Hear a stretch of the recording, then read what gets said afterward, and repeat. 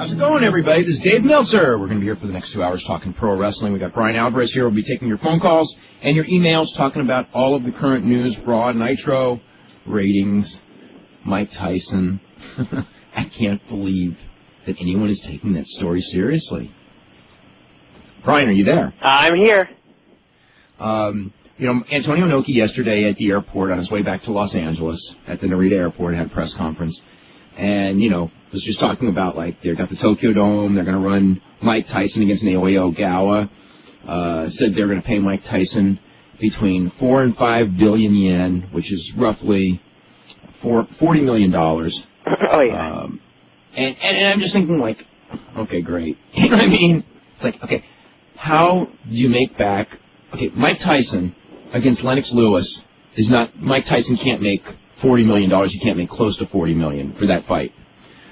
How is he going to make that amount of money for a match, work, shoot, or indifferent with Naoya Ogawa? I mean, think of the box office potential, and, and the United States is still the main country when it comes to drawing revenue on pay-per-view, which is the main revenue source for a big fight. And think of how many buys Mike Tyson and Naoya Ogawa, most likely on tape delay, and most likely it's going to be either one of two things. It's either going to be a work match, or if it's a shoot match, one way or the other, it didn't go in two minutes, most likely. Maybe Inoki hopes that the yen will be devalued by June. no, uh, upvalued. Okay. Something. Or he meant pesos. He's going to pay 40 million pesos. yeah, something like that. But anyway, um, that's, Now somebody emailed me something today that I didn't get a chance to check out yet, but um, something like an ESPN article on Mike Yeah, yeah, it- Is that what you're talking yeah, about? It, it, no, that was uh, that was just Shelley Finkel just saying that you know there's like nothing to this story. Okay. It's totally made up. Okay. So that's what the is. I was afraid E That- ESPN that was- might have uh, reported it as a fact. No, that it's actually a, an AP article um, that's gone around, which is just Shelley Finkel denying everything. Um, you know, saying that he's never even spoken to these people, and that uh, the lawyer who sent the fax, uh, Michael Smith, I believe, uh, sent the fax to Inoki that he read on that pay-per-view last week, has been put on notice, or something like that. So. Hmm. Anyway, that's the deal there.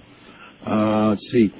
I was very surprised last night, uh, watching Raw, at the lack of mention of that two out of three fall match, the lack of appearance of Triple H, who I figured would do about a 40 minute interview. I don't know, what it, That's tonight.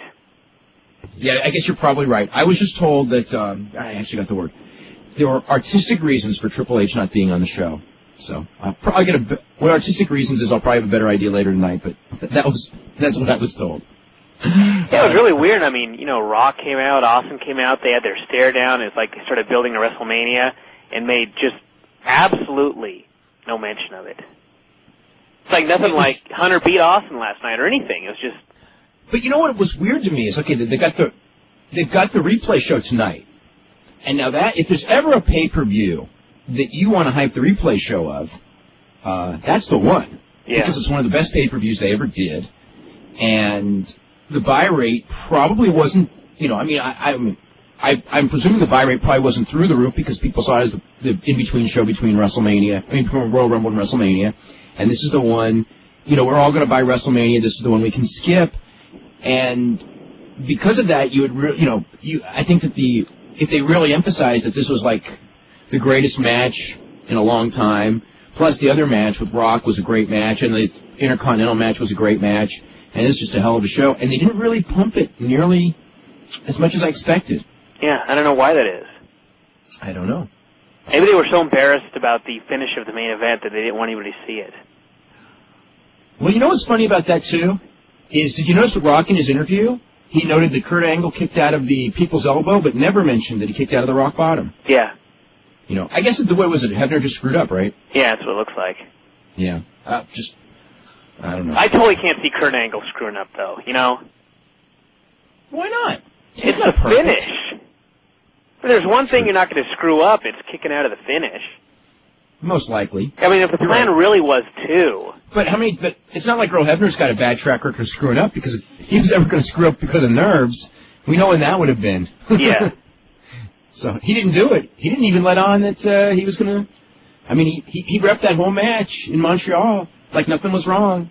And then he did what he needed to do and Take ran the the hell out of fastest. Dodge. he ran as fast as he ever has. right after that. Uh, let's see. Uh, ratings. Got all kinds of ratings. And the XFL, in fact, did break the all-time record for the lowest rated show in prime time in the history of one of the four major networks with that two point, it ended up with a 2.6. So that's a new mark that they can try to beat. Actually, overall, they were not down too much. The um, UPN game uh, did a 1-4. That was down from a 1-5 last week. And the TNN game did an 09 national, and I believe it was a 1-1. So it's basically, you know, within a tenth of a point. Uh, so it's just, again, very slight decreases um, for UPN and TNN, a little bit bigger decrease for NBC, but um, you know, NBC still, when I look at the quarters, uh, they they had a pretty steady decline still. The other ones did not. Let's see. Mhm. Uh, NBC opened at a 3-1 and got down as low as a 2-1 and then actually rebounded up to a 2-4 by the finish.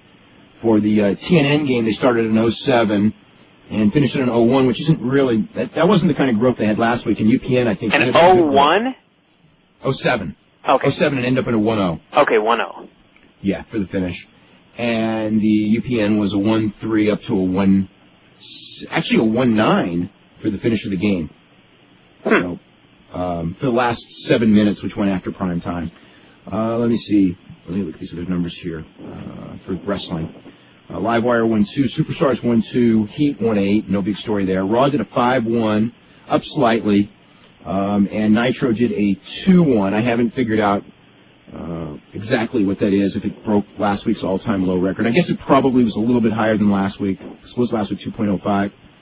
Uh, this one may see 1681, 1,681,000 homes. Uh, I don't have my calculator here, so it's 2.1. Uh, the main event, Jeff Jarrett and Dustin Rhodes did set an all-time record for the lowest rated main event in the history of the program with a 1-6. They broke a record that Flair and DDP set several years ago uh, for a really pathetic match in Charlotte with Ric trying to play heel in Chicago against DDP. You can imagine how bad that was. Isn't a sucky match. Anyway, last night's match with Dustin and Jeff Jarrett, that match sucked too. It was kind of funny because I was watching it, and about halfway through, I was going, "This is bad. It's not that bad." And then, like, by the time the thing was over, I was like, "That was utterly horrible." yeah. They had a good, they had a good sick man though. Oh yeah, that was with awesome. return of, with the return of Booker T. Yeah, I mean, I wouldn't say that was awesome. It was good though. I really liked it. I mean, it was. um I just like the whole the way the whole thing was set up. You know, Booker came back, just got a huge pop. They went right into the match. You know, he pinned Steiner clean in a tag. I like that. and uh, I just thought the whole thing was done really well. I mean, as far as like the whole thing about Booker T coming back already, I think that uh, doesn't necessarily bode well for the future. But uh, as far as No. what actually happened, I thought it was really good. Yeah, they did a good job with it. I, the idea that they would bring him back and kind of like, you know, for one week's rating, which didn't deliver anyway, Yeah, and, and, and it wasn't going to. You know, a return of Booker T ain't going to make, you know, it would make a tenth of a point difference in the whole rating when all is said and done, probably. yeah, Uh, is it worth, like, getting rid of your long-term plans for that tenth of a point? I mean, that, and that's all it was going to do. Yeah. And you bring in Sting if they do that. I mean, I don't know what the plan is for that, but if they were to do that, you know, that's not going to make a big difference either. You hear anything about Arn Anderson other than, I mean, I know he had a two-week suspension. What the details of that, what, why I didn't hear any details. I mean, I read your thing about it having something to do with booking a match with Luger, and um, I think it was the Luger Palumbo match, but I'm not sure. Well, I was watching the Luger Palumbo match, and um, you know he put Palumbo over, but it was like a total Hulk Hogan job. He just pummeled this kid the entire match, did the small package job, got up and just pummeled him again. And I thought, yeah, that's really putting that kid over. So maybe they got pissed about that. They should have. Yeah, This is that's that's garbage. I mean, it's like Lex Luger when it comes to putting over Palumbo. You know, he needs to, they need to put guys over, not that BS fake. Oh yeah, you know, yes. like he, Hulk Hogan did caught with him for three Vampiro and Billy. Kidman stuff. Yeah, that like, was really helped really helped their careers. Yep. Let's see, Thursday night in Naucalpan, Mexico, at the IWRG TV tapings, biggest match of the year in Mexico. Uh, held del Santo putting his mask on the line against Dr. Cerebro. So, uh, we'll have that result probably on Friday. Uh, let me see what else we've got here. Uh, let's see, more Tyson stuff. Um, yeah, I mean, just the economics of it. I mean, it's, it's like, I mean, how is that thing? They don't have strong pay-per-view in Japan. They don't, closed circuit for all intents and purposes doesn't exist. I mean, you can, I mean, if if if, if Mike Tyson fought Naoya at the Tokyo Dome, it would sell out the Tokyo Dome, and they probably could jack ticket prices up to the point where they could probably do seven, eight, nine million. Okay, but where where do you make the rest of your money? Mm-hmm. I mean, it just economically, it doesn't make any sense. Uh, we forgot to do this yesterday. We also have today's. This is some of the poll stuff. Very scary numbers. Do you, do you, you check on the, the the poll numbers for Super Brawl are so scary. Thumbs up, twelve percent. Thumbs down, seven percent. Thumbs in the middle, nine percent. Didn't see the show, sixty-nine percent. Is that the highest that- ever? Uh, I think it, it's either the highest or ties the highest. Uh, The um, which pay per view would this be? The um, the January pay per view? No, no, no, no. The, the Star, I think the Starcade was was pretty close to that, like maybe Yeah, 60 Starcade was 69%. really high. Yeah, but that you know, that's why there's an economic disaster in January. Remember? That's right.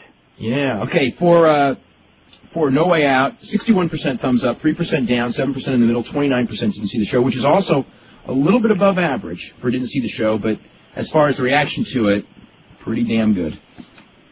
Uh, tonight, tonight's poll question is, uh, what did you think of last night's wrestling? A, Raw was better. B, Nitro was better. C, didn't watch Raw. Uh, D, didn't watch Nitro. E, didn't watch Raw or Nitro. And we'll talk about Raw and Nitro. Um, what are your thoughts on Raw? We'll start with that. We'll start with Raw. The one thing about Raw that I mean, I, I didn't really like uh, either show last night. Um, I Really? like 'Cause I like I like both. you did. I uh, I mean, I liked the whole the whole Booker T thing on Nitro, but I mean, overall the show, I guess it, I guess it was all right. They had the um, they had the cruiserweight tag team tournament match, and they actually announced the brackets and everything. Oh, um, I thought the announcement of the brackets kills the tournament. Just because we know who's in it now, Yeah, I mean it's like it's like I you know, but I want to at least praise the fact that they announced brackets because they usually do. Okay, okay, yeah, yeah. That, so it actually looks like a real tournament to me. This is one of those things that they should have saved for when they have a cruiserweight booker and when they have their act together. Because to me, this tournament, you needed, I think, to, to get this tournament over, you needed a Mexican team, you needed a Japanese team.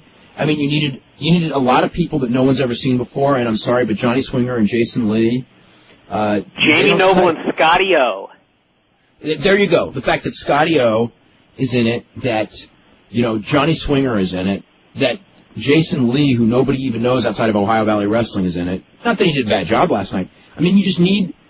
I mean, it, it looks to people watching this that this is some jobber tournament, and the Yeah. the cruiserweight division already has that jobber image already, and that's why you need new faces and new faces that are really good and like give it an international flavor. Hey, this this team's coming in from Japan. This team's coming in from Mexico um, hype the fact they're coming in. I mean, and then here's the other thing: the one guy that they are actually doing promo packages for, he's coming, he's coming. Kid Romeo is not in the tournament unless he's the old Skipper's mystery partner. I think he's going to be.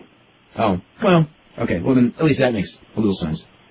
But um, and the other thing I thought was interesting during that match was uh, they did the Kidman and Ray match, and uh, here's Kidman doing a springboard shooting star press, and I know he's done it for years off the top rope and everything like that, but uh, I mean, poor awesome. AJ Styles, he had one thing really going for him, this fantastic move, and uh, Kidman used it. There you go. Yep. So I don't know. I mean, overall, I didn't. I wasn't too impressed with the show, other than the uh, the six man, and I really thought the main event was just horrible. I hate that heel ref thing, and uh, the match didn't even help with uh, the work in the ring. But uh, overall, I wasn't impressed with that show. And Raw, um, I liked the stuff with Rock and Austin just because the fans were so into it, and you could tell that they're just going to go crazy for that match. Um, Dean Malenko and Taka was all right, but it was really short. Um, and of course, they had the main event, and it was Kurt Angle, The Rock, and The Big Show. One man who does not fit. And You know, I, I will say this: the match was a lot better than I expected, but at the same time, it was so much worse than it would have been with just Rock and Angle in there. Plus, everybody was running in. You got you got uh, Albert on at 11 o'clock at night, beating up The Rock. Well, was totally Rock. wrong with that. I think that the whole deal is they just they're just trying to get over this these guys in the hardcore division, and Albert just all the guys who don't have a role, they're in the hardcore division. But why ruin what could have been a good main event by putting Big Show in there and doing all these run-ins? Because they had no way out. What do you mean they had no way out? They had no way out of the match. They weren't going to beat any of those three guys, so they wanted to beat. I'm just wondering why they even made the match in the first place. So they wanted to beat Essa Rios. Well, they did that thing. I'll tell you what. Now, The one thing that, that I, I will say, when that match started, okay, remember we were talking about the Big Show doing his run in in the main event and hurting that main event? Yeah. Like, well, maybe it'll make sense on night on uh, Raw tonight. Now that I saw Raw, I'm even madder that they did that run in because they could have done a million things on Raw to set that match up and not ruin. I don't want to say ruin. That's way too strong a word. Not hurt. I mean, if you take that Big Show thing out of that match and the finish out of that match, you know, where the referee screwed up or whatever, I mean, you had a match that was probably just as good as the Helmsley match, or very, very close. And, you know, the, the, the big, you know, it's like, why, you know, I don't know, why have Big Show run in in, in something good? I'm just so frustrated with Big Show being involved in the main events at all. Well, I don't, I didn't, I didn't mind that they put him in a three-way, but, you know, the whole thing is, I did end because it took the three way down, or it took the match down. well, you know, they'd already done the run. I mean, once they'd done the run-in, you knew where they're going. They had to get him, him involved. Yeah, Now, I mean, the I mean the whole thing is. the decision to get him right now- involved. Go ahead. The decision to get him involved, I mean, I totally disagree with because he hasn't earned it. Yeah. I mean, that's the whole thing. I mean, the WWF right now, their their upper card, you know, their main eventers are are really really good, and to throw this guy in there that's going to take down every single match because he's nowhere near their level, just because he's big, it just drives me crazy. I mean, I was watching him last night, and I watched him last that's him the been the couple Vince. McMahon mentality from, from ever since he was a child. Yeah. And I mean, the whole thing is, I, I will say that he's working harder and he's trying. But at the same time, they could put me on the XFL field and I could work really hard and try. That doesn't mean I should be in the game. And you won't help ratings either. No, I wouldn't help ratings. I'd have a shitty game and there's no reason for me to be in there. Now, I got a question. Being that you're not a football fan at all, what did you think of that Jesse Ventura Rusty Tillman angle? Because to me, as someone who is a football fan, I thought it was so unbelievably pathetic. Well, I fast forwarded through it, so that's what I, mean, thought of me- it. Oh, it was just so bad. You know, I guess what was Trish wasn't going to be dumping Vince, was she? No, she wasn't. kind of figured that, that one was coming. Uh, actually, I think it was pretty obvious that one was coming. Uh, not exactly what they did, though. It was rather rather gross, actually. Yes. But uh, anyway, that's that's what happens. How come they never do that to Chyna? You know, because Trish Stratus. remember how Chyna was ripping on on Trish Stratus and everything? And I think that the performance that Trish Stratus did on the pay per view was better than most, but not all, of Chyna's performances in her career with a hell of a lot more training. Now, And with better workers. and, yeah, with much better Chyna workers. usually has good people to work with. Chyna's never worked with anyone like Stephanie before. Oh, imagine that match. Yeah. Now, last night, in that uh, two minutes or so before they did their little angle and Stephanie and uh, Trish worked, Lightning did not strike twice. that was really, I mean, I guess it wasn't hideously bad, but it was as bad as I expected the match night before to be. I don't know if there's something wrong with me, but uh, when Vince was chewing out Steve Regal, chewed him out two nights in a row, in the very, very back of my mind, the markish portion of my mind, I thought, I hope he stretches Vince tonight. But he oh, did. yeah, right. right. I, I don't know. Steve Regal to me is like so great. He is. You know, um, hopefully, hopefully when he gets back in the ring this time, uh, he'll be able to get better crowd reactions. Yeah. Because I mean, he's I mean, he gets great crowd reactions for everything but his wrestling, and his wrestling is Awesome. his wrestling. It's really good, but you know what? It's not the best thing he does. His acting is actually better than his wrestling, Mhm. which is so funny because it's another one of those people that like WCW had and thought that the whole problem with him was that his acting wasn't good enough. Everyone knew his wrestling was good, right? You know, kind of like Steve Austin. Oh, you know, everyone knows he's a great worker, but he doesn't have any charisma. Yep. Oh God. You know, or oh well. Uh, let me just see if there's any other notes from that show. Uh, nothing really. I don't know. I mean, what was it? What's uh, Cat was trying to be Tammy Faye Bakker. Thought that was pretty, pretty weak. Uh, Undertaker and Kane killing everybody again. Yeah, well, yeah, well, that was going to happen, wasn't it? I know, but Um, I guess I, I guess Edge was off the show because of a bad back. mhm.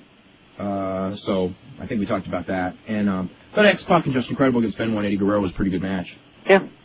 Um, and uh, obviously going somewhere with Benoit, which is certainly if they wrestle at WrestleMania and have a 15 minute match, it will not be the worst match on that show. I mean, Benoit didn't do like a face turn or anything like like that last night, but I mean, there were there were some spots like when he was going up for the headbutt where he started to get that big pop, still as a heel. And I was sitting there going, this guy's going to turn babyface, and he's not going to be, like, huge, but they'll love him. Oh yeah, oh yeah. Anything else before we start hitting emails? Uh, I think that's it. If I think of anything, I'll pipe in. It's from Todd Martin, who says, uh, the line I found funniest on Friday was when Don Frye said that Bob was the craftiest shamrock of them all. Something about that was so funny. Uh, Um, actually, I think Frank is the craftiest of them all. That's my feeling. Uh, someone goes, that was the way for Nitro to keep people from flipping over to Raw at 9. Actually, I think, even though it, it I can't say it really worked or didn't work, the rating dropped from a 2.6 to a 2.2 when Raw started, which is less than a usual drop. I thought that, as far as the execution and the timing and everything like that, I thought it was pretty damn good. yeah, it was. The one thing, I don't know if it was just me and I was just in a bad mood last night, but that segment was so long, it was like almost a half hour. And so, from that point forward till the end of the show, it seemed to me like there was a commercial just They doubled up on constantly commercials, you're right. commercial, commercial, commercial. Yeah, for, for spring break. Yeah, and I was thinking, you know, if I were just watching this for fun, I'd been pissed and turned it off by now. Well, some people did. They, they did some of the lowest quarter ratings in the history of the company last night.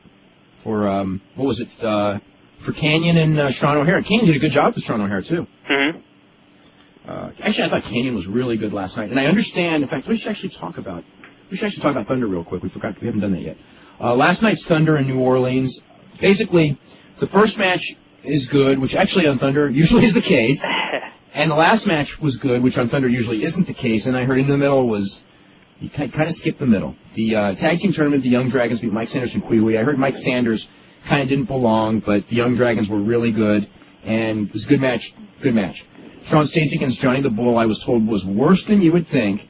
And considering what I usually think of Shawn Stasiak, That's that's not good. Uh, Shane Helms beat Johnny Swinger. I heard they kind of had a style clash, but it was okay. Mike Awesome beat Konnan. I was told that that was okay. Chuck Palumbo beat Disco, which I heard was told was horrible. Uh, lots of run-ins. Uh, Rick Steiner beat Vito, which I heard was horrible. Uh, then Kanyon did an interview with a broom, which he said that the broom looked exactly like Ms. Jones, except the broom had better hair. And then he started giving the broom a pounding until uh, the cat did a run-in to save the broom. God, they don't save the wrestlers; they save the brooms. And then Booker Did they say whether Steiner- Kenny had a good match with the broom? Oh, you know what? What isn't that the saying that you can have a good match Yeah. with a broom? Yep. Well, we'll find out. But that was what they used to say about Ric Flair. He can have a good match with a broom, right? Yep. Yeah, I used to hear that, and I never believed it. Now, I think he once had a good match with a sports coat, but Booker T and Scott Steiner wrestled, which I heard was a good match. Both guys working really hard. Booker T had Scott beat, and Rick interferes for the DQ. Uh, DDP came out and gave both Steiners the diamond cutter, and a lot of other run-ins. You know, all the usual suspects did run-ins after that was over. And I bet I was told good finish. So that's that's the deal. And they I think it's so funny about DDP is he keeps running, running from Scott Steiner on every show, but his gimmick is I'm not running from you. No, but he ran in on the, he ran in on him this time, and he gave him a diamond cutter last time in the six man. That's true. Yeah, he, he's playing mind games with him. But tell I don't know. That was kind of kind of strange. Yeah, it's, at least at least they're trying. Yeah. I don't. I mean, DDP. The problem with DDP is is he works really hard, and he's a pretty decent interview, but he's just not the number one baby face in a company, and mm-hmm. and he is right now, unfortunately, because everyone else is everyone else is gone for God knows how long. I don't know what's going on, and I and and I should know, and I really don't, because it changes like every We'll two find out hours. if, if Sting is back next Monday. The plans are all out the window. Uh, I can't. I mean, I've heard that rumor, but I can't. bel I can't believe it. But then again, I should be able to believe anything by now. Yeah. Uh, let's see. Uh, let's see. With all the crap that people gave Russo, do you really think that Booker T, Scott Steiner, and Jeff Jarrett would have been pushed as hard with Kevin Sullivan booking? Actually, Sullivan was. Uh, Scott Steiner wasn't because he was on suspension at the time for most of that, and Booker T wasn't. With guys like that, the core of WCW, Russo's work may help out in the long run. No, believe me. As far as the, The long damage run, that he did is far worse than any of the uh, upsides of his. I don't even know hardly any upside other than yeah, he did. He did get. He gave the young guys some of them a chance. Okay, now now Not in the right, best way did- possible. Okay, okay, you, you- you're right. He did. He he really wanted to, but today, how many of those guys actually are elevated because of anything Vince Russo did? Yeah, it's because he had no clue how to do it. Yeah, I mean, no Booker T. He's the only one. Mm-hmm. Uh, Booker T kind of got up to to a different level, uh, but no, but nobody else. I mean, is is Billy Kidman more over now? He's less over now. Even Yeah. though he got a program with Hulk Hogan, he ended up being less over. I think the thing with Booker T though was he was a guy that I think was just waiting to get over and be huge, as opposed to some of the guys like the Thrillers being thrown on TV. That there's just no way, no matter what they do with these guys right now, that they're going to be over huge. Well, they're not ready, and everyone Yeah. knows it. Especially because of the interviews. Mhm. Boy, that's such a weakness whenever they talk. It's Sean O'Haire. Uh, let's see. It's from Eddie Atlanta. Uh, what was up with Tommy Rich getting the NWA title for four days? Did he ever defend it, or was it his first title defense the match where he lost back to Race? I think that he won on a Monday, lost on a Friday, and I think he retained it on a Wednesday. But this is 20 years ago, and I don't remember perfectly. I never understood why he was given the belt even for a few days. Um, if you were watching Georgia wrestling in 1981, it was totally understandable. I mean, he was the big star of the promotion.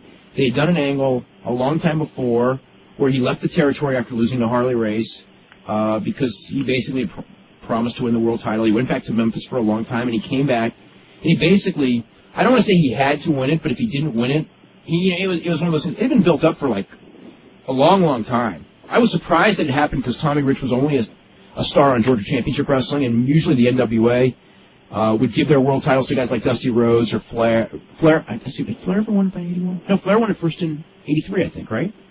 No, no, no, no, 81.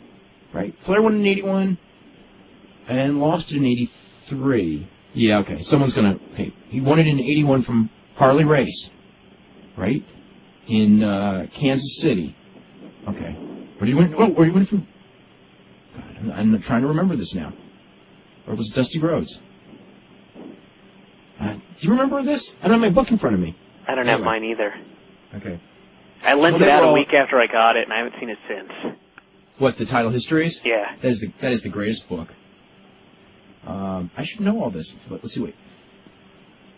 Ric Flair won it in September because I was coming back from a football game and I turned on my tape at Georgia Championship Wrestling. And they opened up by saying Ric Flair just won the title in Kansas City, and I was so happy. And then I had the worst date of my entire life that night. No, it's decent. Actually, I did.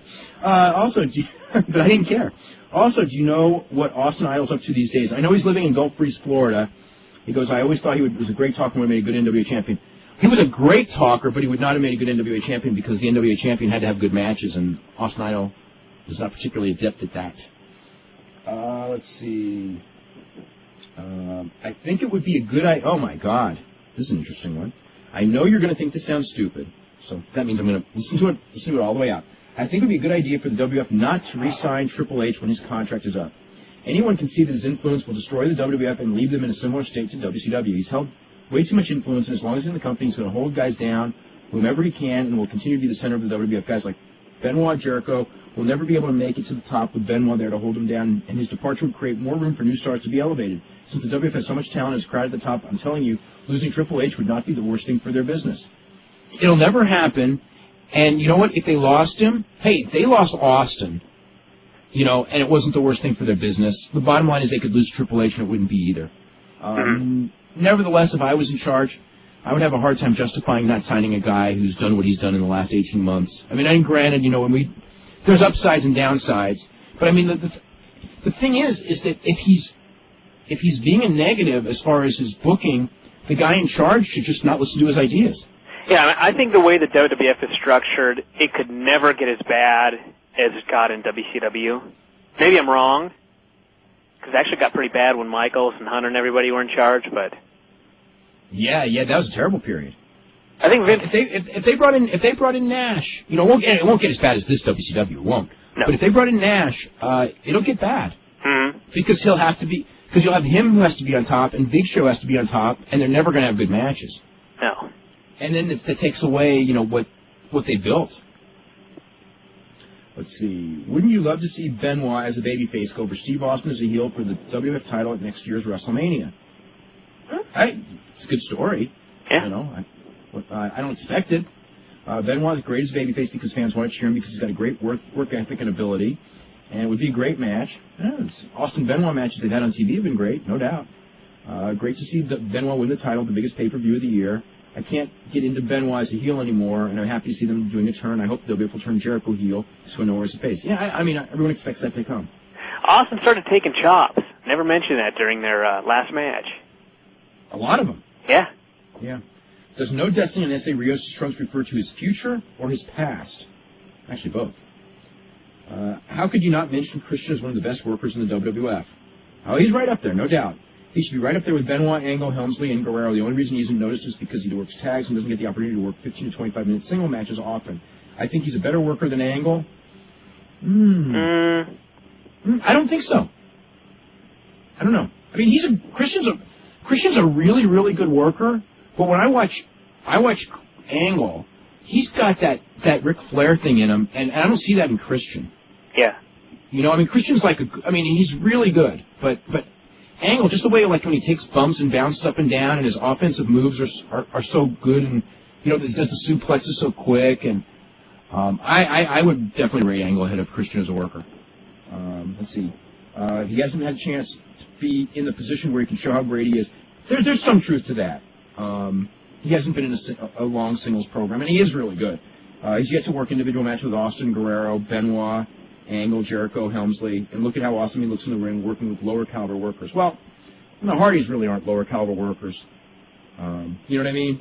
Mhm. Uh, but anyway, if you put Christian in singles competition, allowed him to work longer matches at the top, he certainly stands as being one of the top three or four guys in the company. He may very well, but I'm so scared of them putting him in singles competition because I think that because of his size Their mindset is that Edge is and their, be mi- and their star. mindset that, that, that he won't be a star. That's why I always was against the plans to break up Edge and Christian because I always thought that with their mindset that they would tr- try to give Edge a real big singles push, and he may not be ready for it, although he probably will at some point, and Christian will just flounder Yeah. and be like, you know, in that Dean Malenko, Perry Saturn level, just because, uh, you know, even though, even though he's a good worker. So, okay, first off, do you think Trish is a better wrestler than Lita? Yes. Okay.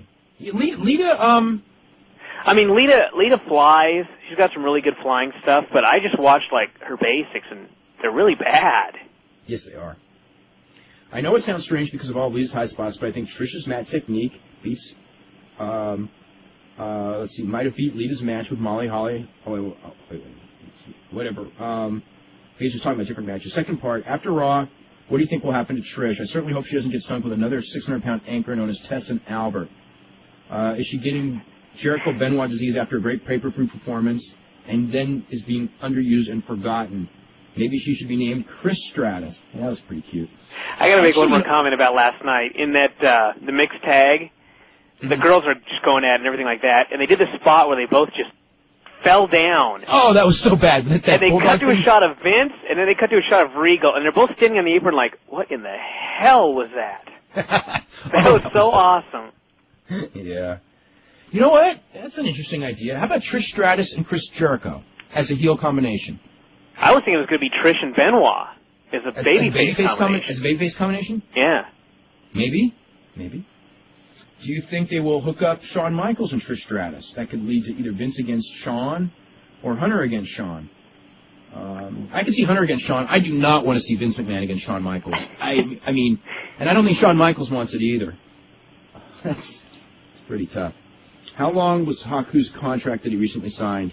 Uh, I don't know, but most of the contracts are three years with an option from for uh, a fourth. Uh, where is Karen McDougal, the Playboy Playmate that the WF signed to a developmental deal? I don't even know. When does Rob Van Dam return from All Japan? Uh, on the 4th. Uh, what are the ages of Simon Diamond and Super Crazy? I don't know how old Simon Diamond is. I think Super Crazy is about 20. This is off the top of my head. I'm thinking about 27. That's, that's close. And when was the first pro wrestling match staged at Madison Square Garden? You know, I don't know that that was in the eight, that like 1880s or 1890s. Yeah, and we have an email about that a while ago. Uh, the first one? No, I Yeah. don't remember one. But but it was way back before you know, before there was a before there was a telephone probably. Back when it was an Uh, actual garden. yeah, probably. It was the old Madison Square Garden. 'Cause, you know, Yeah. there have been like three or four of them. Okay, let's see. I had not seen Dean Malenko wear the light heavyweight title in months. Yeah, when he came out with that belt, that was quite a surprise. Yes. Oh, Wow, I thought that thing didn't exist anymore. Do you think that that match last night took place because of what Jim Ross said in the Ross report? No, no, I just uh, I think they just, just want to do something. If the ratings drop the most during that match, that only gives Vince a bigger reason to drop the belt for good. I know a lot of internet fans like the light heavyweights, but let's face it, casual fans don't care. Of course they don't care. They've been taught not to care. How could they? How could you care about Dean Malenko defending a belt against Taka Michinoku? Yeah. How- you know, even though uh, hey, for their three minutes they did a good match, but how, why would you care? hmm Got a lot of emails to get to. We're going to go to the phone calls. We got full bank calls as well. We'll start with Harry in Oregon. Harry, what's going on? Hey guys, how you doing? Hey. Doing really good. Yeah, the broom angle really isn't that shocking on Thunder considering how a mop got more ring time than Triple H last night. Yeah. Well, hey, not more interview time than he's going to be getting in the next week. So. There you go. Hey, did either of you see or hear anything about Jesse Ventura on the National Press Club conference on C-SPAN last night? No. Yeah, I got caught part of it last night. Uh, they asked him about the Rusty Tillman angle, and he actually downplayed it. He said, "I respect him. He's a good coach." So almost like even he's really not that into it. Hmm. Well, I think someone sent me something about that last night. that's a good. That, that's a good way to to build an angle up.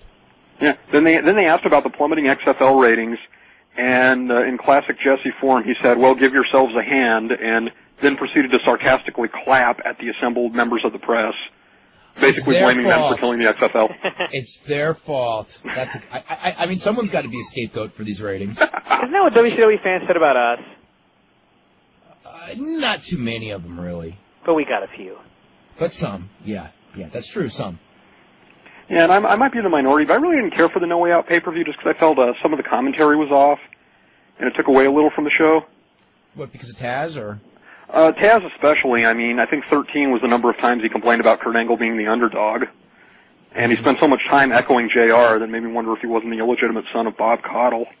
Well, you know the whole deal. Um, you know, I mean, they were told, you know, because Kurt was losing, you Uh-huh. know that that you know you got to pump Kurt, you got to pump Kurt. You know, they really wanted to protect him with that loss, and you know they may have just gone overboard. And and there's only so many ways of saying, you know, God, Kurt Angle won a gold medal. He's one of the greatest athletes. He's only been here for two years. You know what I mean? Right. I mean, how many? You know, they had 17 minutes and they had to, they, and they kept, you know, they kept saying. Yeah, but and also, I mean, just minor stuff, but still, you can see, uh, like there was no reference to the fact that JR once broke a pitcher over Taz's head. And That's that's that's a valid point. That- yeah, yeah, that that- was. Uh, I didn't even think know, about not that. Acknowledging, not acknowledging that old angle. Uh, And Taz there calling him a there should- rubber-faced There should be a little bit more. There should be a little bit more tension there than they than they showed. You're right. And, and not only that, but JR really didn't seem too upset about the fact that uh, Triple H pedigreed him on SmackDown a few days ago. He made a couple st- comments on it, but I just got the feeling if he doesn't care, why should the fans? That's a that's a great point. And he, you know what? He should have should have worn a neck brace. Mhm. The only problem is, I guess he couldn't because he'd have to wear that neck brace on that XFL game. that would just be, and then they would just be roasted. like he isn't already. You know, you know, they never should have done that angle. I think is the answer. Because if Yeah. you can't, s- to me, if you can't sell an angle, then why waste your time doing it? Well, and didn't Triple H break his arm like a year ago after he first won the title? Yes, yes, and he only sold that one for about two weeks. Yeah, At least he they- sold it. He had that little cast on and everything. And they did the really bad bad. sound effect carryover with the the Slim Jim snapping when he broke it or something. Yeah, that was pretty corny. And a, a rare, uh, and just uh, not to beat up Jim Ross, speaking of roasting him, but a rare mistake he made was uh, during the hardcore cluster, which the less said about that match, the better. He said that uh, two years ago at this event, the Big Show debuted. It was a February pay-per-view, but technically that pay-per-view was titled St. Valentine's Day Massacre, and not No Way Out. Like I said, a minor thing, but pretty uncharacteristic of JR. Yeah. Well, you know, that, that, that's that's true, but I don't know. I don't know what to say. That is minor. Hell, hell hath no fury like us trivia mutants. Yeah, that's true. hey, the fact. Hey, you want to get technical? They must have said five times. Uh, I mean, not five, but three times. He was the only gold medalist in the history of the WWF, and that's not true either. That's very true. Yeah, he's Yeah. he was, as best I can tell, the second gold medalist. Yeah. And we're not talking about the Iron Sheik either. Bad news was bron- was bronze, right? Bad News won a bronze in '76. Yeah, Okay. yeah. The only one was uh, Willem Ruska, who was only in the WWF for a couple matches, but he was in there, and he did win, I think, two golds in uh, '72. Yep. And speaking of trivia, wrestlers annoying other wrestlers trivia, I'm going to send you guys tonight. Cool. Cool. I love those things. So enjoy that. All right, guys, take care. Okay, we're gonna. Is this uh, Phil in DC or Bill in DC? Hey guys, Phil. Hey there. Hey, You guys hear me? Yeah. I can hear you fine. Okay, cool. Um, I picked up that date for you. Um, Flair won it on uh, Flair nine seventeen eighty one I know. th- I knew it was from in Kansas Dusty City. Rhodes. Over Dusty first Rhodes. Dusty title. Rhodes had beat Dusty Rhodes had beaten Harley Race at the Omni, right? Uh, yep. It's Atlanta, Georgia, so I'm assuming it's Omni. It was the Omni. I, it's all coming back to me. And Flair that won it in Kansas City. Yeah, at the. uh And then lost it to Jack Veneno in Dominica, evidently, which I, I'm looking Okay, at the okay, site I'm that, looking at. I guess okay, that's one okay, of the those fandom Jack, changes, right? You, you know what the Jack Ven- Veneno story is? Do you know that story? Oh, You guys don't know, Brian? You know the Jack Veneno story? No. This is a great story. Uh, Ric Flair went down to um, was it San Domingo or was it Venezuela? looks like it says Dominica, so I don't, it didn't say, didn't Dominican say Republic. Okay, Dominican Republic. Okay, Ric Flair goes to the Dominican Republic. He's wrestling Jack Veneno, who's the local hero. There's about thirty thousand people in the stadium, and something happened. I think that there was a gunshot towards the ring, or something really weird. And Ric Flair panicked and basically pulled Jack Veneno on top of him and told the referee to count to three and got out of the building. And then in the dressing room, they gave him back the title. Ric Flair actually never beat Jack Veneno back for the belt. So Jack Veneno is the real NWA World Heavyweight Champion? He No, is the Carlos lineal Colon- champion. Carlos Colon is because Carlos, uh, or whoever holds that Universal title, because Carlos beat Ric Flair in that unification match, and then Rick came back to the States with the belt in '83. Right, yeah, it says here he beat him 83, uh, January 83. January That's 6, Coreyissue.com. 1983, They've got uh, all the world title uh, stuff up there, which is kind of a neat thing to look at. And you Yeah, mentioned but- uh, but- Flair and the uh, broomstick. You saw the match. I didn't because I wasn't watching WCW then. But you said he had a pretty good match with Russo. I guess Russo would probably be Oh, worse he had a good match with Russo. right? Yes, Russo is about as close to a uh, broomstick as you're going to get. he had. A, you know, he had a three and a quarter star match with El Gigante too. Really? Are there tapes of that? Um, I don't know. But you saw it live? Um, no, he had him in every, like in every city. Wow. I mean, it was like it wasn't like one; he had a lot of them. How could he? And and and I, I can't even. I, I can't even visually comprehend how that's possible.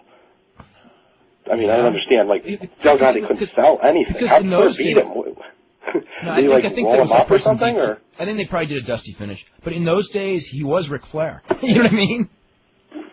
That's true. Um, uh, another thing I wanted to mention was I, I would, uh, the Doctor Cerebro Elliot Santa News is.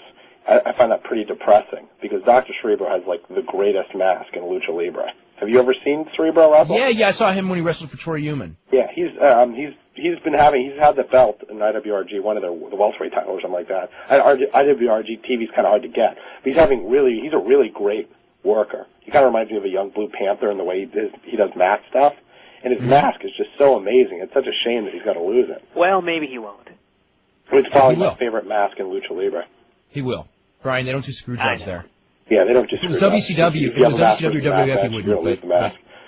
But he's And leaving the mask, you know, Absolutely no chance of El Hijo del Santo losing. yeah. Mm, Not until he's like 68 years old, like his dad, when he finally unmasked. Yeah, but I mean, I- even though his dad never lost a match, the match though. He just kind No, of no, no, no. no. His dad was going to die, so he took the mask off once, Yeah. and then he died. It was the curse. yeah. I know the. Um, I figure, yeah, I figure El- Elliot Santa will probably be buried in it. Like they His let dad a was. couple of the most luchadors they don't let retire with them. That's why I never understood. Was, why was a lot Demon of wasn't buried with American fans Demon wasn't buried sad with his mask, was he? They didn't handle it well. It Demon? wasn't that big of a deal. That Lou guys Demon- like when Lou Lucha Demon died a couple weeks ago. Rey Mysterio Jr. and Psychosis lost their mask because they, you know, would anyway. They just didn't handle it good. But the actual, the actual act of unmasking them isn't such like this huge, uh, you know, insult. I think Demon was buried in it, wasn't he? Yeah, I Demon don't was. remember. Yeah, he was. Demon Remember buried there was a his picture of him in the coffin. Okay. And the other thing was I went to the uh, Super 8 um, this weekend. How was it? That was a great show, a really great Oh, show. good. Um, I was prob maybe from top to bottom the best live wrestling card I've ever been to. I mean, the battle royal, the, the battle royal was bad. I mean, real bad, really bad. But uh, and the other stuff, the tag match with the Haas brothers wasn't very good. They, uh, I, I was shocked about the Haas brothers because they're they work Memphis, right? Now, Yeah. Yeah. and uh, the Steve Regal, I mean, Steve Regal was there, Bill Dundee's there, Jerry Lawler's there, and they still can absolutely throw some of the worst punches I've ever seen. And you know, Well, that's- you that's think the- that that's that's, the the one thing you might a learn in lot of the new- is how to throw a lot of the new guys- punch. A lot of new guys in wrestling. I mean, they don't punch like the old guys because the old guys used to, you know, the punch was their big move. So you know, you you better be good at it. Now, you know, everyone does all these high spots, so you don't concentrate as much on the punch. And then when you do the punch, you know, you know, especially for people who've watched wrestling for a long time, you're used to a good looking punch, and then you see a bad looking punch, and it's like, ugh, God, don't ever punch. Yeah, I mean And that's what I was thinking during that ma- the tag match they had. It was, um, it was just like, good lord. I mean, talk, sit, have Bill Dundee go go find him in the back, have him sit you down, show you how to throw a punch. Because I mean, you know, when you do all the Actually, that's not springboard, that's not a bad idea. Bill Dundee always did throw a cool but, punch. I mean, when you get to that, when it, you look so that looks so fake. I mean, it just like kills the entire. uh You, you know what though, Bill Dundee, now that he's 60 years old, he may not throw such a great punch, so maybe you. I saw some FCW stuff with Bill Dundee. Does he still? I haven't ago, seen I haven't seen Dundee wrestle in about a year and a half. definitely old, but he still throw he still know how to throw throw a good work punch. I mean, I think you Mm-hmm. you forget how to do that. Um, as far as the guys, I thought they looked really good. American Dragon looked really good. I mean, Yeah, I've seen him. far He, he is Um, he is very good. You know what's what's so sad to me is there are guys under devel- WWF developmental contracts. You know, like they're and American Dragon's one of them, and Flash Flanagan's another one of them. Steve And, and And they're better than Big Show. well, s- no, well that no, but but like you know when Jim Ross does the report on the guys they're going to bring up, Yeah. he's they're they're never on the report, and it just tells me that they have no intention of ever bringing these guys up, and these guys are like they're like good. I mean, American Dragon was great. I mean, he really looked. Um, pro- he looked like the best independent worker in the world now that Modest and Daniels are signed on that night. I mean, he had a really good match with Spanky, which you would expect because they worked each other so much. He had a, the best Reckless Youth match I've ever seen. Like, I don't think they they might have worked each other once or twice in Memphis, but um, and then he had I don't know that really, they- I don't know really, that they really good match with Low Ki, and I don't I'm sure they've never wrestled each other before. And it was just you know three matches, um, all three of them you know really really great. And the other thing, which is one of the things that we noticed stylistically, which is kind of cool, and um, uh, maybe Brian, you want to talk about this, is that from years ago, this is the third Super 8 I've been to, is the big problem I noticed in the first couple, and we were talking about it earlier with the punches, is that the work was really loose, and it's a U.S. Indie, sort of a traditional U.S. Indie thing, but all the, a lot of these matches were really, really, really stiff, like almost, the, um, American Dragon Low Ki was Japan level stiff as far as the kicks and the chops and things like that. And um, American, and, and same thing with uh, with American Dragon Spanky, which is so weird because you don't think of Shawn Michaels as being the world's stiffest worker. Ooh, what's that? Oh, what was that? Hold on a second. Is that your fire alarm? That was not a fire alarm. That was uh, like someone being paged or something. Oh. Well, he's gone. Let's go to The uh, FBI. let's, go, let's go to Scott. Scott. Hey, Scott. Hey. Hey, what's going on? uh, I'm doing fine. You know, something really occurred to me last night watching Raw. The whole thing with uh, the Vince Trish, you know, that whole bit with the uh, the slop bucket. Yeah. Am I the only one who think you have Vince McMahon standing triumphant, you have a woman being humiliated, and then you have that scatological humor that he loves so much? Did we actually see Vince McMahon's id manifest itself live in front of an entire audience? Oh, absolutely. I think we see that every week. Yeah. When he, when that, I remember that one show where he just tore off in the limo at about 60 miles an hour, and I just thought, this guy's been waiting to do this his whole life. And he Well, always do all of excuse to do it. No, and this was another one. It's like it's like you know this is the excuse to humiliate some you know girl that took him for a ride you know 34 years ago or something. Well, probably not because he was married, but you know I mean this these are all these are all things. You know, I'm just waiting for him to have a heel sportscaster. uh, how, how long before he bases the character on Jim Rome? Well, it'll be Mushnick before Jim Rome. Oh, hmm. Actually, he wasn't. um No, no, no, no. What- No, who was the one that was going to be the Mushnick? So that it's gonna guy be from the Saturday Night Flash. Live or something. The guy with the sign, I think, was supposed to be Bozell. Yeah, that and then was Richards Bozell. turned into Bozell, and Richards turned into Bozell. There was something they were doing a Phil Mushnick at some point too. I'm trying to remember. I will. But uh, I, I remember I was watching it with a couple of friends of mine and thinking to myself afterward, like, okay, the ring is now going to be all slippery and wet for the rest of the night. I bet the next match is going to have the light heavyweights. And out come Dean Malenko and, and Kaientai on. and every time Well, I watch Kaientai, I just start weeping for what's going to become to Tajiri.